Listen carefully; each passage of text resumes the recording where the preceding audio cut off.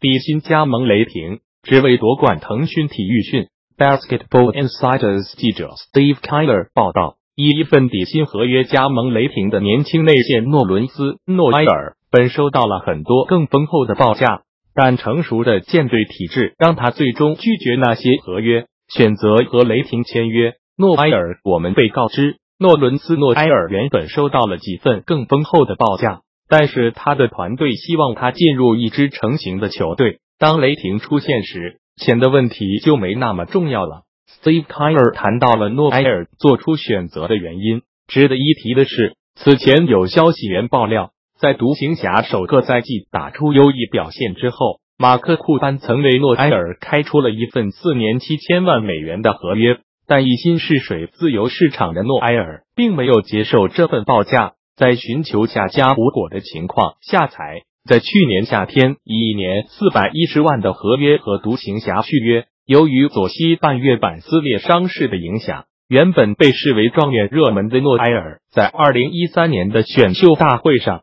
最终以第六顺位被鹈鹕选中，随后就被交易至七十六人。在过去四个赛季，他分别效力于七十六人和独行侠两队。不过，首个赛季就拿出九点三分、七点二篮板、一点四封盖的诺埃尔，并未在独行侠获得成功。上个赛季，他仅出战了三十场比赛，首发六次，在场均十五点七分钟的时间里，只能贡献四点四分、五点六篮板，投篮命中率为百分之五十二点四。好在加盟雷霆后，诺埃尔得到了一个重塑自我价值的机会。二十四岁的他仍旧在防守端和篮板方面具有极高的潜能。下赛季他很有可能将作为史蒂文亚当斯的替补，在板凳席为雷霆队带去活力。